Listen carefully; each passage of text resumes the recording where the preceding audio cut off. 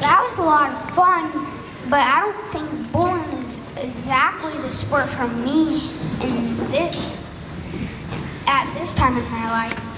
Me neither. I can hardly lift that ball on my fingers, so I like sausages. And, and most of us are big enough for football or fast enough for baseball. Or tall enough for basketball. You know, Coach Knight says it isn't only size and strength that counts. He says to be.